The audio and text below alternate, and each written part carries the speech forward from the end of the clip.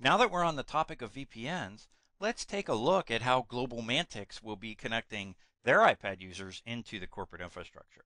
So I have this simple network diagram up, and you can see the iPad users are connecting into the internet. This can be through a 4G connection or a Wi-Fi hotspot at a hotel or even the local Starbucks. It doesn't matter as long as they are connected to the internet. Now on the corporate infrastructure side, the internet connection comes into their Cisco border router, which then connects to their WatchGuard security appliance. Everything to this point would be insecure. It would not have to occur within a VPN. So if I did a ping from the iPad to the external interface of the WatchGuard security appliance, I could get replies. Now, between the WatchGuard security appliance and the Dell PowerEdge server, which are inside the corporate network, I obviously want those resources secured, and that's where the VPN is going to come in. So the VPN will be established between the iPad and the WatchGuard XTM security appliance. The security appliance will perform authentication. It will establish, you know, the phase one and phase two settings of the VPN connection. So everything that's necessary to bring up the tunnel will occur here. And since I mentioned authentication, let's take a quick peek at that because the iPad VPN client supports excellent authentication, proven authentication methods. These methods include MS CHAP v2, RSA SecurID, and CryptoCard to support two-factor authentication. We also have support for X509 digital certificates or even shared secret methods. Beyond that, looking at authentication protocols for 802.1x authentication protocols, we have everything from EAP TLS to EAP TTLS, all the way to PEAP version 0 and version 1 and LEAP. As far as digital certificate file extensions go, you can support .cer, .crt, and even .der. Now let's see what that means real world wise. So the first part of this is taking a look at our WatchGuard security appliance inside the corporate network. So I'll come down and pull up my WatchGuard system manager. This is Global Mantix configuration. I'll pop up into VPN under mobile VPN and IPsec and you'll see that there is a policy that governs iOS users. In this policy, we have multiple options. There are options that define where the VPN tunnel is authenticated. So when the iOS connection is attempted and the user credentials are passed, it is authenticated against an internal database in the security appliance. What is allowed access to on the corporate network as far as when the VPN tunnel is established? Well, in Global Mantix case, they allow their iOS users to access any portion of that trusted corporate network. We need IP addresses to be assigned to our iPads when VPN tunnels are established.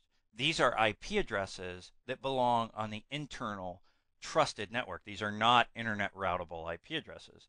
So you'll see that Global Mantix has established an IP pool from 100 to 129, which gives them 30 addresses to cover all 30 of their initial deployed iPads at one time.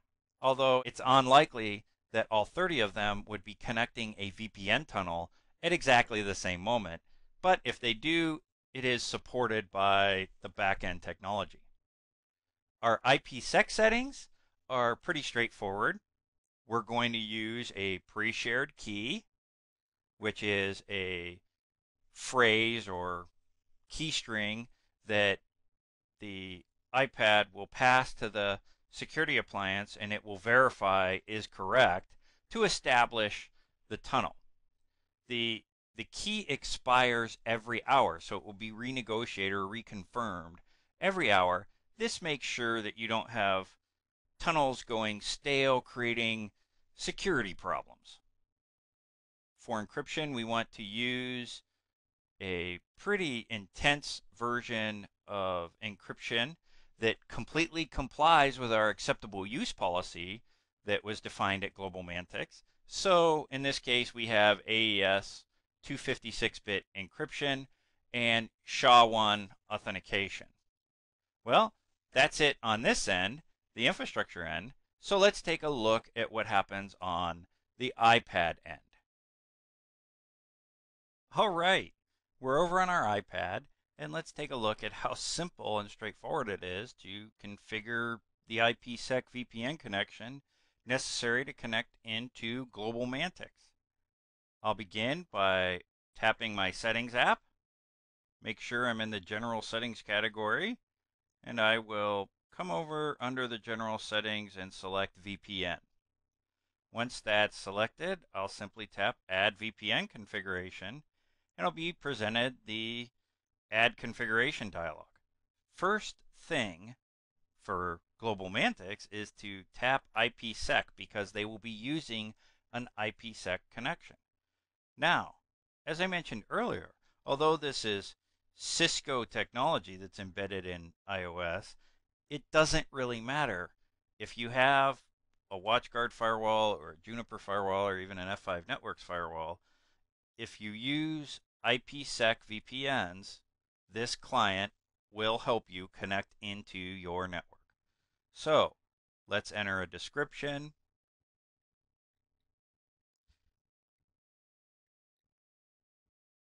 There we go.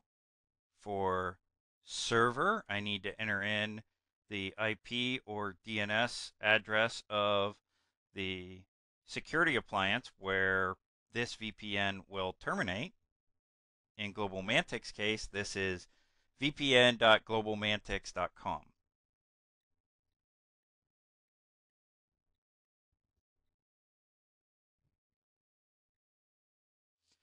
There we go. Account. This is the user account in that Firebox DB that we said would be providing the authentication. So in my case, that account is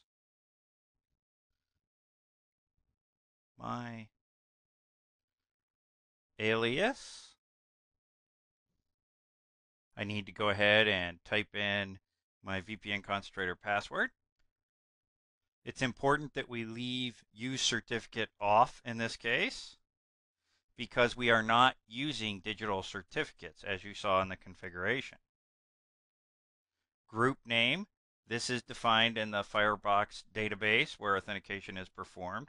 And in Global Mantic's case, it is known as GlobalMantics iOS. We will be using a shared secret for this tunnel, so I'm going to go ahead and type that in. We are not using any form of proxy, so we will leave that off. And that's all there is to it. Our VPN is now configured on the iPad, and we can give it a try. The last thing we need to do is click Save. You now see that it is a configuration under the VPN settings tab. So when I connect the VPN, this selected configuration represents the settings that will be used to create the VPN tunnel. This allows you on your iPad to have multiple VPN connections. You could be connecting into different offices, different corporations. In Global Mantic's case, we are connecting into their regional headquarters where that XTM security appliance is located. And we do not need any other configurations. All right, I guess there's nothing left for us to do but give her a go and see if our work will be successful. Now, all there is to connect the VPN connection is simply tap the VPN slider so it moves from off to on. It will say starting while it establishes the tunnel, and as you can see, it connected right up. Well, I hope this has given you an idea of just how simple and straightforward it is to configure VPN connections from the iPad into corporate infrastructure such as that used at Global Mantix.